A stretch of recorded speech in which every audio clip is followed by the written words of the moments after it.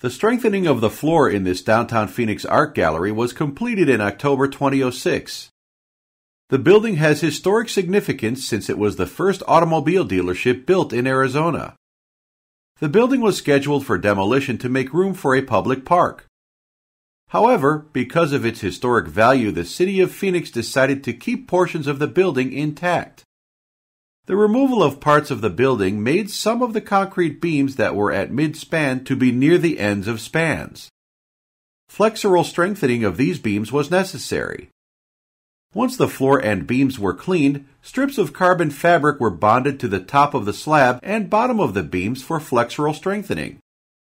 For shear retrofit, U-shaped carbon fabric strips were bonded to the bottom and two sides of the beams. Several pictures taken during the construction can be seen here.